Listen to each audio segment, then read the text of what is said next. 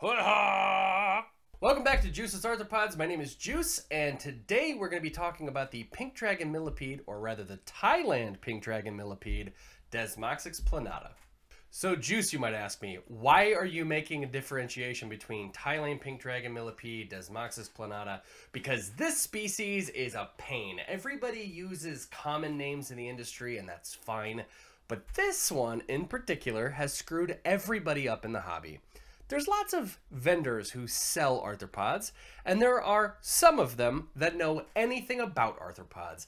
And the word pink dragon millipede has been just this flag that I'm going to plant on, and I'm going to die on this hill alone. But the problem with it is that there are shocking pink dragon millipedes, pink dragon millipedes, and Thailand pink dragon millipedes.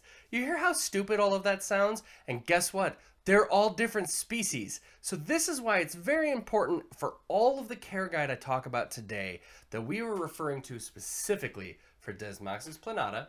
They only grow about one inch or three centimeters. So if you have something that's huge, don't watch this video about them.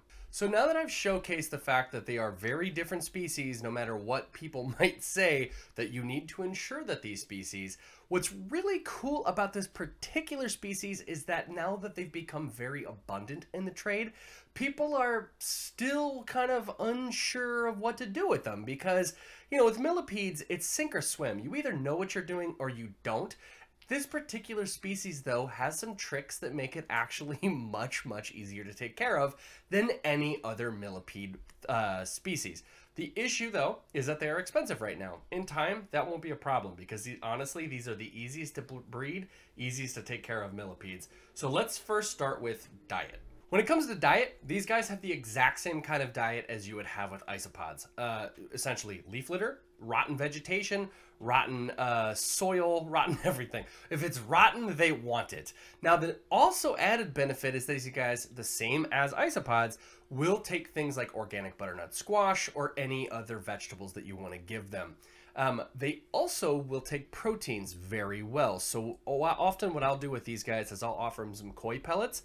Now, they're not big eaters. So so don't put like a lot of proteins in there because inevitably what you're going to get is mold and you're going to get any other like fruit flies or anything like that. Um, but you can add a little bit of protein in there. Little shrimp, basically treat them exactly like you treat them with an isopod. They're very, very easy to deal with. One thing that is going to happen with these guys, though, is a lot of mold. So what you need to do is you need to ensure that you have a good springtail population in there.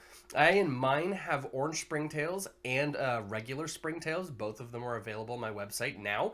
They work perfectly because what happens is the orange springtails tend to go a little bit deeper in the soil. The uh, temperate white springtails kind of stand on top and it just covers you for the mold that's going to happen. Now, mold is fine, guys. This is a problem that I hear a lot of people worrying about, and unless you're dealing with tarantulas, mold is not your enemy. There are some molds that are bad, but all the mold that is going to be found naturally in any of their terrariums that you're bringing in, as long as the soil is sanitized and you didn't bring it out from outdoors, is going to be totally fine. So with these guys in particular, because the humidity, which we'll talk about in a minute, you are going to have a lot of white molds. Do not worry, these guys will eat some of that as well, as well as the springtails will. So as far as diet, to reiterate, fresh veggies, totally fine. Please make sure that they're organic. Uh, proteins are fine, such as koi pellets, fish pellets, any of the kind of pellets you might put on top of a fish tank that like kind of float a little bit. And other than that, these guys are going to be super great with the rotten wood and the rotten leaf litter. Treat them like any other millipede, and you'll be awesome with these guys. Now, when it comes to care, this species is the easiest millipede species you are ever going to work with. I, I swear to you. All you need is a box and soil and rotten vegetation and wood. That's it. Yeah, honestly, like there's no additional needs for these at all because you're not really going to see them that often. You ever lifted up like a piece of wood and then you found millipedes underneath it? It's kind of the same. These aren't big millipedes. They're not showy millipedes. It's not like when you have a giant African millipede, how they're going to like make themselves known.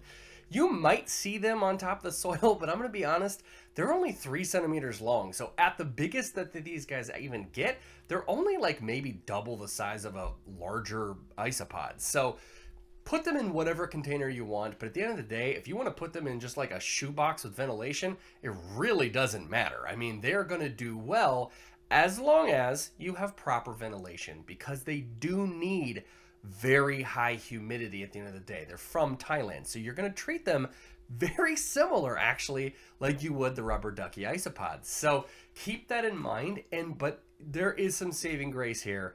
They way outbreed the rubber ducky isopod and they're much easier to deal with.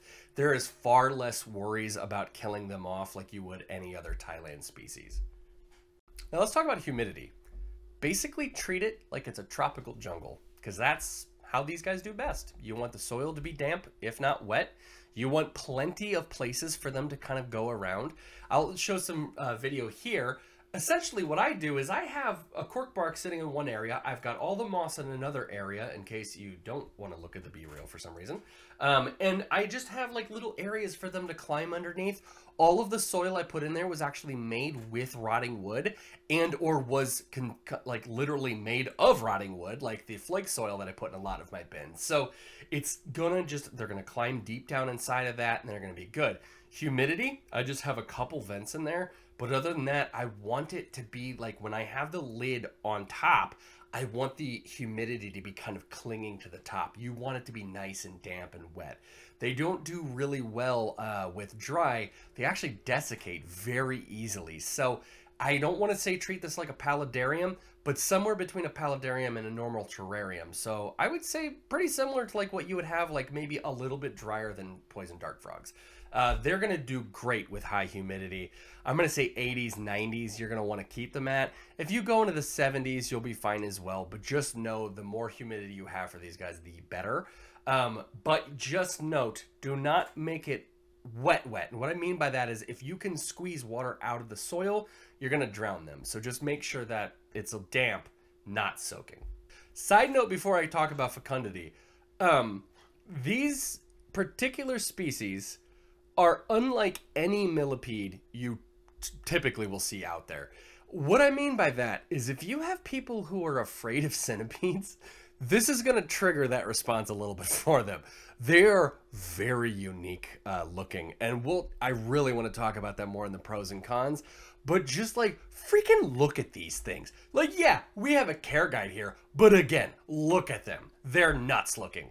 Anyhow, on to fecundity they have a lot of babies, like a, a lot of babies. If you don't want these as a lot of them, do not buy them. They are like powder blue isopods of millipedes. You start with five, and now you have a thousand. And um, there's a huge con about having a boatload of these, which is you can't feed them off to anything. So just note that when you do purchase these, you are going to have a pretty much constantly producing box of them, which is awesome. I mean, it's great. Don't get me wrong. Like they will, you can create really beautiful, you know, terrariums that have them, and you could add all kinds of just like an awesome ecological terrarium that you could have them and some roaches and isopods. And yeah, they're all going to compete for food, but that competition is going to keep them from outbreeding themselves. So by all means, go crazy with that. But if you're looking for a pet that doesn't breed heavily, I don't recommend these guys because when it comes to fecundity, they have a lot of babies. Like a lot, a lot. And also, and this is the last thing, if you change the soil, do not throw this soil outside because this species can become highly, highly invasive. It started in like Sri Lanka and now it's native in like 12 different countries because, again, they will outbreed the comp competition every single time. Let's talk about pros look, I might not seem like I'm super excited about these, and I'm, I'm not gonna lie to you. I, am not. I, I love all arthropods, but millipedes just they're they're one of these things that they're like the cats of the arthropod world. They mostly sleep and don't do a lot else, so they were essentially just like a, a like a like a cactus that you kind of stare at. But this particular species, I find the absolute well, I'm going to say the second coolest millipede by far, only beaten by the giant African millipedes, and that's because of their sheer size. But we'll do another video about those guys. The pink dragon millipede is one of those species that when you look at it, you're like, that's a centipede, and it's not. No toxicognaths, doesn't have two pairs of leg per body segment. It's just dope. It's armored, it's pink, and uh, if you haven't figured that out by now by any of the things that I'm constantly doing. Pink and purple are just like one of my favorite colors. So what I'm what I'm saying is if you want like a dope pink ranger from like Mighty Morphin Power Rangers looking bug that kind of looks like a centipede. This is it. It is just awesome. And the spikes, again, kind of like a dope goth uh, millipede at the end of the day. It just has spikes everywhere. And I don't know why, because it comes packed with with the most brutal cyanide, which we'll talk about in a second on the cons. So I don't even understand why it has those spikes. It doesn't need them. It just wanted to look evolutionarily awesome. So yeah, that's a huge thing. Secondarily, easy. Millipedes are hard sometimes, sometimes impossible. There are plenty of species out there that you just cannot breed. These you can breed, which is if you're someone that wants to get into breeding arthropods, this is a perfect starter species. This is as easy to breed these guys as it is to breed powder blues. You put them in a box, you put some humidity and food in there, and you will have babies. It is awesome. So, secondarily, awesome to breed, easy species. Third pro for me, um, I really am a fan of just like little tiny e uh, ecosystems in a box. And all the mold that kind of sprouts up with all the humidity, you get to see how they interact with it, and that's awesome. Uh, last pro, if I had to guess, is the fact that like these are kind of bringing. It's the same thing as like regal jumping spiders. This is bringing people into this into the hobby for isopods. And again, I love any creature that can get people interested in bugs. I love them, absolutely love them. So hey, if myriapods are your thing, please by all means uh, go for these guys. Hugely sweet, awesome species. Let's talk about cons let's go back to fecundity for a second. If you don't have a place to put the extras, you will find massive die-offs because in any ecological system, a long enough timeline, there's not enough food to sustain it. So one of the biggest cons is the fact that they are like unchecked chaos when it comes to how much they can breed. Now, keep in mind, my internal in my house humidity is about 50% at all times. I'm in California. It may not be the same for you in your state. So, what I'm saying is just be prepared for this because you need to have a plan B on how you might have to artificially create a devastating ecological disaster to control that or just lower their food and that's also another option. Um, another con is they produce hydrofluoric cyanide. So what that means is don't hold them. Like you you can but like you shouldn't. Because, like, you're not going to absorb it into your hands, but, like, how much do you trust yourself on your ability to wash your hands when that thing you're washing off is hydrofluoric cyanide?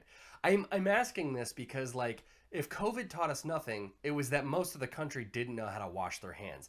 They needed a damn song for it. So, do you trust yourself with hydrofluoric cyanide before you go and eat your sandwich? So, all I'm saying is maybe just don't eat something after you hold them, which Juice told you not to hold them. So ignore my cinnamon if you want to, but just know, like, either either hold them and wash your hands very good, or don't hold them at all. Um, which also leads to the third con. What do you plan on doing with all these babies? Because you can't feed them off you it's not like powder blues where you can just like add them to other things. Maybe give them to your gecko in hopes that they'll de um, demolish them or put them in your horde king assassin bugs container because they'll take care of them. Like you need to have a plan because they are poisonous to everything else. And this includes small dogs cats pets and children. So i'm mentioning all of this because i want you to think ahead before you purchase these because while they are not dangerous to you and you won't die, you might get sick. Like it's enough cyanide to give you um, a lot of exiting all of the thing in your bowels that you didn't want to leave at a uh, accelerated rate. Is that the PG 13 way of saying that? So there you go. Don't eat them. Don't hold them and then not wash your hands. Don't let your kids eat them. Definitely don't let your pets eat them. Just, they should just be a no-no because they're bright pink, guys. And what that means is that there has been, they did not care if they got found in the wilderness because they have proven otherwise why it's a bad idea to consume them. So take that advice And as far as cons, that's honestly it. They're poisonous. Don't eat them. That's all I'm saying. And I'm going to get comments that are like, oh, why would you eat them? I don't know. People eat weird shit. Just don't eat them. So, as far as that, I hope you like this video. Uh, like and subscribe. Hit the bell because a lot of people have been saying they're not seeing my videos lately. So, hope you enjoyed this. I hope this helps you. And honestly, for a starter pet, top five easily. Enjoy.